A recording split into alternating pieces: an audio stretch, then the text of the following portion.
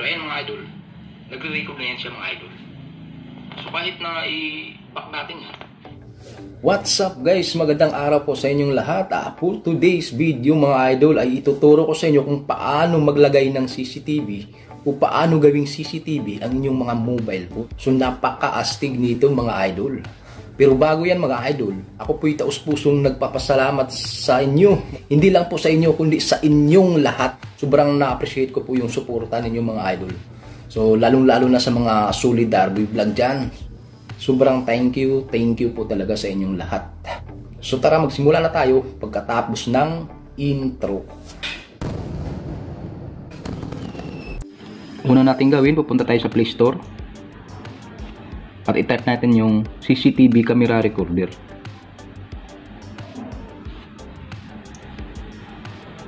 So, ito po yung itsura niya mga idol. Bago natin i-download is titingnan muna natin yung ratings niya. Meron siyang 4.6 star, 3.6 MB, mababa lang siya. At meron din po siyang 1 million plus download. So, marami pong tumatangkilik talaga. So, ngayon mga idol, i-install na natin. Hintay lang tayong kunti. So ayun mga idol, na-install na kagad natin. So ngayon, i-open na natin. Get started. While using the app. While using the app, allow. Allow nyo lang. Tapos, hanapin nyo yung EC, CCTV camera recorder. So, iyon natin yan. Tapos, back tayo. Pagdating dito mga loads, i-X lang natin to. Muna tayo. May makikita kayo dito yung get started. So, click nyo yan.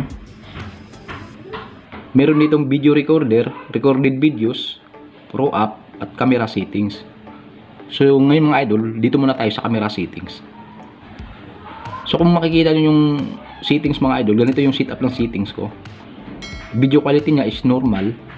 Flash is nakano yung flash ko. Camera ay likod yung gagamitin ko. Screen lock is nakano yung sa akin. Silent video is nakano din. Uh, show preview is nakano din siya. So mamaya ipaliwanag ko sa inyo ito mamaya mga idol.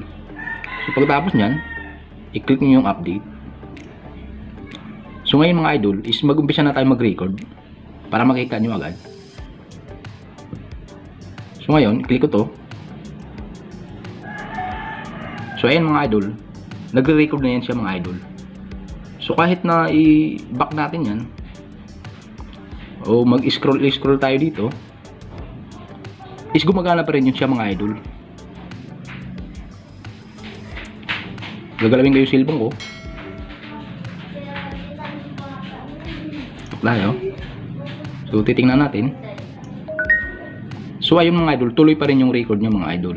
So, stop na natin. Tapos, ito po yung lalabas mga idol. Ito po yung na-record natin to. Click natin. so ayan mga idol, nagre-record na yan siya mga idol. So kahit na i-back natin yan, o mag-scroll scroll tayo dito, is gumagana pa rin yun siya mga idol. Gagalawin ko yung cellphone ko. Ano? Titingnan natin. So ayun mga idol, tuloy pa rin yung record ng mga idol. So stop.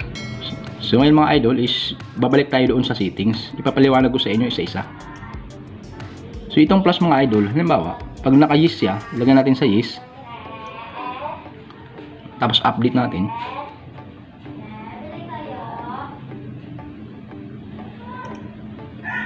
Once na mag-video ka mga idol, naka-flash siya mga idol. Ayun, naka-flash siya mga idol. May ilaw siya mga idol. Ayun, oh. Nag-iilaw siya. Kaya nasa inyo po yun kung i-flash nyo. Pero mas maganda na hindi nyo i-flash. So ito po yun. Naka-flash siya mga idol. May ilaw siya mga idol. Ayun, oh. Nag-iilaw siya. Kaya nasa inyo po yun kung i-flash nyo. Pero Yun yun. Dito naman tayo sa camera. Ah, alam nyo na yan mga idol kasi kung alin yung gusto nyong gamitin, yung front ba o yung likod. So sa akin is likod naman yung ginagamit ko. Tapos yung screen lock mga idol is pag ino natin yan mga idol ay pag i natin yan mga idol. So ganito yung mga magiging hitsura niya. May edge siya, skip lang natin yung ano. Pag nagre-record ka ng mga idol, kusa siyang namamatay pag i-click mo siya. Yun namamatay siya mga idol. Pero gumagana pa rin naman siya mga idol. Yun, may plus siya. Nakayis yung plus natin. Back tayo dun. Ito lang natin yan. So ito yun. Gumagana pa rin naman siya mga idol. Yun, may plus siya. Nakayis yung plus natin. So back tayo doon. So dito tayo sa camera settings. Yung silent video naman niya mga idol. Pag naka-yes siya mga idol, ilagay natin sa yes. Hindi mo maririnig yung boses mga idol. So update natin, try natin pakita. So may apps na naman, close lang natin. Ayan.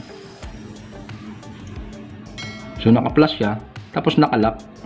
So pag inopen natin siya mga idol, ano ba, magsalita ako. Hello, hello. Wala kang maririnig mga idol. O hindi mo marinig yun mga idol. Tingnan natin. So ito yun siya.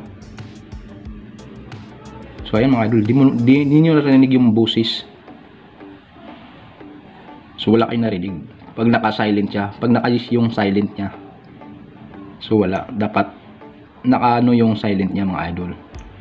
Dito naman sa show preview mga loads, is pag i-use mo siya, makikita yung screen niya. Update. Close lang natin to. Video recorder. Ganito yung maging itsura niya maload.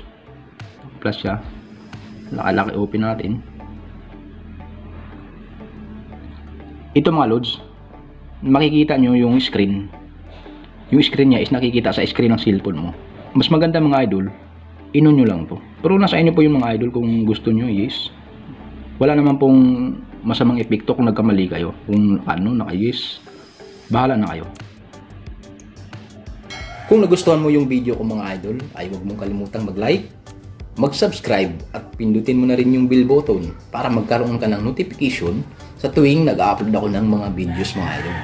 Pero kung may makikita kang mga ads sa video ko mga idol, sana'y huwag mong skip Bila suporta na rin po sa akin mga lods. So hanggang sa muli mga idol, maraming maraming salamat po sa inyo. Ingat po kayo.